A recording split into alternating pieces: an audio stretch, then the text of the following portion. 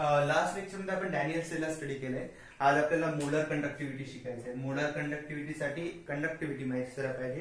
कंडक्टिव्हिटीसाठी conductance माहिती असायला पाहिजे आणि रेजिस्टन्स रेजिस्टिव्हिटी तर ह्या मोलर कंडक्टिव्हिटी जे की दोन मिनिटाचा पोर्शन आहे त्यासाठी आपल्याला चार बेसिक टर्म स्टडी करायचे याचा व्हेरिएशन आपण नेक्स्ट व्हिडिओमध्ये बघणार आहोत.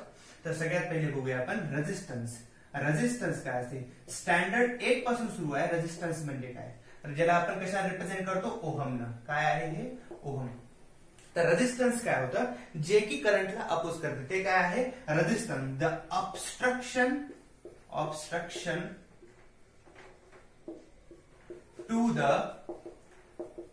flow of current म्हणजे करंटला वाहण्यापासून जे रोगल ते काय आहे?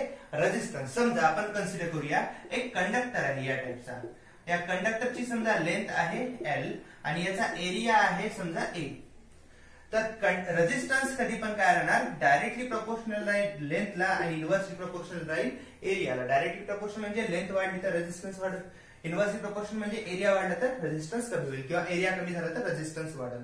तर या टाईपनं R is directly proportional to काय आहे? एल बाय ए तर आर इज इक्वल टू मी काय पुट करू शकतो? R is equal to put करू शकतो. या ठिकाणी आपल्याला कॉन्स्टंट ऑफ प्रपोर्शनॅलिटी घ्यायची आहे. का? कारण आपल्याला हे प्रपोर्शनचं साईन काढायचंय तर आर इज इक्वल टू काय घेत असतो आपण नेहमी? Rho into L by A तर या ठिकाणी जे रो घेतला होता ते रो काय होता? तर रो आहे कॉन्स्टंट ऑफ प्रपोर्शनॅलिटी या कॉन्स्टंट ऑफ प्रपोर्शनॅलिटीचं काहीतरी नाव असेल ना तर याला म्हणतात स्पेसिफिक रेजिस्टन्स हे आहे आपल्यासाठी स्पेसिफिक रेजिस्टन्स किंवा याला दुसरं म्हणतात रजिस्टिव्हिटी रजिस्टिव्हिटी ओके. आता या ठिकाणी बघूया. या रेजिस्टिव्हिटीला आपण डिराईव्ह करायचा प्रयत्न करूया. आर इज इक्वल टू काय भेटलं?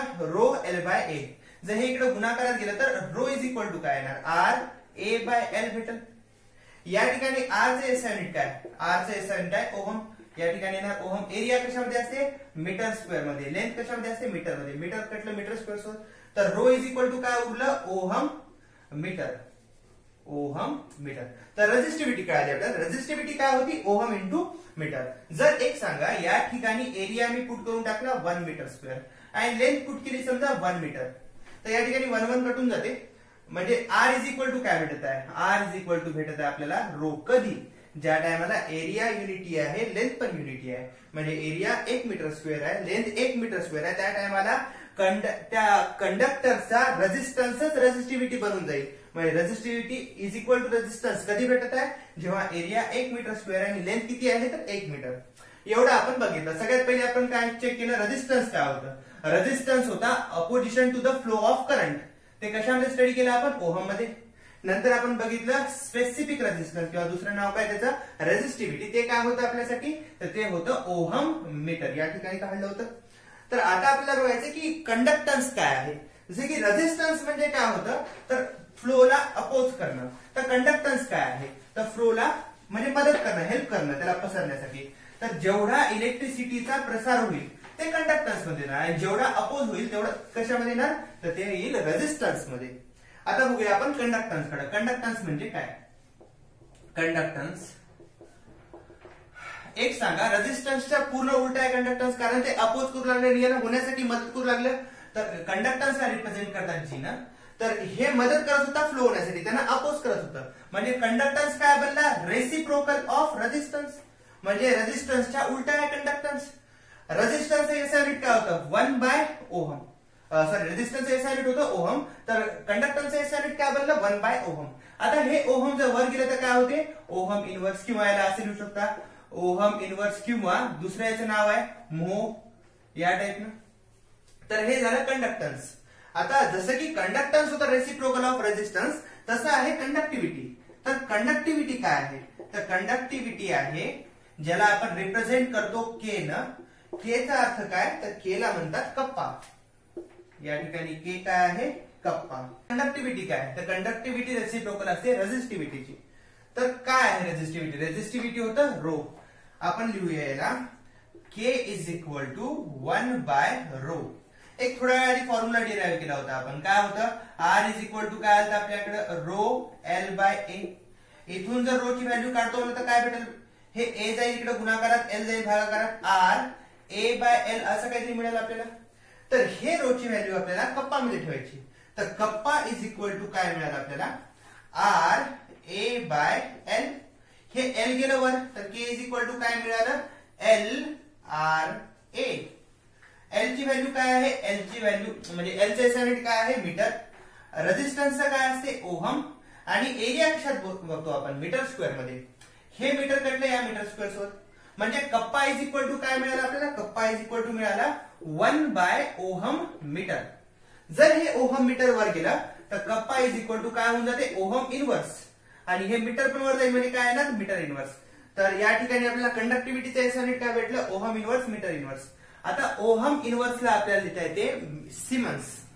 ज्याला रिप्रेझेंट करतात एस न. तर एस पर मीटर हे एस युनिट झालं कंडक्टिव्हिटीचं आता एक होतं की आपण रेजिस्टिव्हिटीला स्टडी केलं. आपण रेजिस्टन्सला स्टडी केलं. आता आपण कंडक्टन्स बघितलं आणि कंडक्टिव्हिटी बघितली. काय होतं रेजिस्टन्स जे करंटला अपोज करंट फ्लो होण्यापासून ते होतं रेजिस्टन्स काय होती रेजिस्टिव्हिटी स्टडी केली. Rho is equal to R A by L नंतर कंडक्टन्स बघितलं. कंडक्टन्स काय होतं? जे रेसिप्रोकल होतं रेजिस्टन्स नंतर कंडक्टिव्हिटी बघितली ते काय होतं? रेसिप्रोकल ऑफ रेजिस्टिव्हिटी तर या ठिकाणी बघूया आता हे कंडक्टिव्हिटी म्हणजे काय होतं? आणि कंडक्टिव्हिटी जर भेटलेली आहे तर मोलार कंडक्टिव्हिटी का काढली? कारण जेव्हा जेव्हा कंडक्टिव्हिटी स्टडी करू लागलो होतो त्या त्या टायमाला कंडक्टिव्हिटी डिफरंट डिफरंट येऊ लागली. जसं की एक कंटेनर घेतला आणि या ठिकाणी मी स्टडी करत आहे. तर या ठिकाणी समजा मी एनएसीएल घेतला इलेक्ट्रॉनिक किंवा कोणता एखादा असू द्या. तर याच्यामध्ये मी जे कॉन्सन्ट्रेशन घेतलं होतं त्याच्यामध्ये मोल्स समजा जास्त घेतले चुकून मी दहा घेतले. दुसऱ्याने स्टडी केली त्याच्यामध्ये त्यानं पाच घेतले कोणी सहा घेतले. तर याच्यामुळे कॉन्सन्ट्रेशन डिफरंट असल्यामुळे कंडक्टिव्हिटी डिफरंट डिफरंट येऊ लागली. मग आपल्याला कंडक्टिव्हिटी एक्झॅक्ट माहीत असायला पाहिजे. त्याच्यामुळे याच्यात तर एक्झॅक्टली माहिती व्हायला गेली. तर त्या ठिकाणी आपल्याला एक्झॅक्ट मोलार कंडक्टिव्हिटी मधून आन्सर कोड आले की कंडक्टिव्हिटी किती असणार आहे. तर ह्याच्यासाठी आपण त्या म्हणजे डिफाईन करत आहोत मोलार कंडक्टिव्हिटीला तर मोलार कंडक्टिव्हिटी काय असते? मोलार कंडक्टिव्हिटी तर मोलार कंडक्टिव्हिटीला रिप्रेझेंट करतात बेटा लॅमडा एम तर मोलार कंडक्टिव्हिटी काय आहे? आपण चार टर्म बघितल्या एका टर्मला स्टडी करण्यासाठी. आणि बरेचदा बोर्डामध्ये क्वेश्चन येते मोलार कंडक्टिव्हिटीवर तर मोलार कंडक्टिव्हिटी आहे lambda M is equal to K divided by C याच्यामध्ये के काय आहे? के आहे कप्पा. सी काय आहे? सी आहे कॉन्सन्ट्रेशन आता थोड्या आधी बघितलं होता. कप्पाचं एस काय होतं. कप्पाचं एस होतं. सिमन्स पर मीटर असं काहीतरी होतं. तर कप्पा इज इक्वल टू काय भेटला siemens per metre upon concentration काय असते? मोल पर मीटर क्यूब म्हणजे एका व्हॉल्यूममध्ये जेवढे मोल्स असतील ते त्याचं कॉन्सन्ट्रेशन असणार आहे. आता हे समजा जर वर गेलं तर सिमन्स पर मीटर इंटू हे वर होऊन जाईल. मीटर क्यूब वर गेलं. भागिले काय राहिले? मोल. हे मीटर कटल याच्यासोबत. तर काय उरलं? Siemen metre square. हे एम कटलं याच्या पॉवर सोबत. म्हणजे उरले किती? दोन. सिमन्स मीटर स्क्वेअर आणि मोल गेलं तर मोल इनवर्स सिमन्सलाच आपण काय देऊ शकतो? थोड्या आधी बघितलं होतं ना आपण? सिमन्स ओहम इनवर्सला काय लिहितं ते? सिमन. मग सिमनला काय लिहिता येते? Ohm inverse metre square per mole. हे झालं मोलार कंडक्टिव्हिटी. तर कंडक्टिव्हिटी आणि मोलार कंडक्टिव्हिटी फरक काय होता? की कंडक्टिव्हिटी मध्ये कॉन्सन्ट्रेशन डिफरंट डिफरंट असल्यामुळे कंडक्टिव्हिटी डिफरंट डिफरंट भेटू लागली होती. मग या ठिकाणी आपण मुळात कंडक्टिव्हिटी डिफाईन करताना काय केलंय? की जे पण कंटेनर होतं समजा हे कंटेनर आहे याच्यामध्ये दोन इलेक्ट्रोड आहेत. हे एक इलेक्ट्रोड आहे समजा हे एक इलेक्ट्रोड आहे. आता याच्यामध्ये जे डिस्टन्स आहे ते आपण एल म्हणून घेणार. आणि हे इलेक्ट्रोडचा एरिया आपण ए म्हणून घेणार. स्टार्टिंगला आपण फॉर्म्युला लिहिला होता ना? याच्यामध्ये एल काय राहील? या दोघांमध्ये डिस्टन्स ए काय राहील? एरिया याचा. तर मोलार कंडक्टिव्हिटी मध्ये काय केलं आपण? जे पण याचं युनिट व्हॉल्यूम होतं त्याच्यामध्ये एक मोल ऍड केला. एका व्हॉल्यूममध्ये काय केलं आपण? एक मोल ऍड केला. म्हणजे कॉन्सन्ट्रेशनला फिक्स ठेवलं. आता कॉन्सन्ट्रेशनला फिक्स ठेवल्यामुळे मोलार कंडक्टिव्हिटी सारखी सारखी होऊ लागली. तर हे होतं मोलार कंडक्टिव्हिटी ज्याच्यामध्ये काय केलं आपण? कॉन्सन्ट्रेशन फिक्स ठेवलं. आणि कॉन्सन्ट्रेशन फिक्स ठेवल्यामुळे कंडक्टिव्हिटी एक्झॅक्टली कळू लागली होती.